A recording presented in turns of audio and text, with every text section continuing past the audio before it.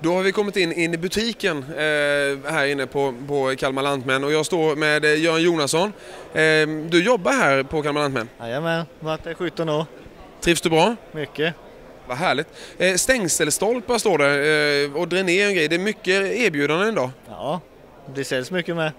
Kan du berätta vad, vad är det för erbjudanden vi har? Vi har 20% på stängselstolpar och eh, 5 extra på dräneringsrör och 10% på vägtrummor.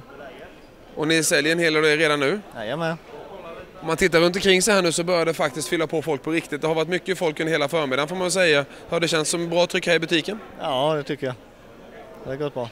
Så du är nöjd och glad? Absolut. Vad härligt. Som sagt, eh, butiken är full gång, verkstaden är full gång, Klashallen är full gång, kallaget är full gång. Ute på fälten så provkör ni allt ifrån traktorer till redskap. Ja, det är hur mycket som helst. Njut, njut, njut av dagen!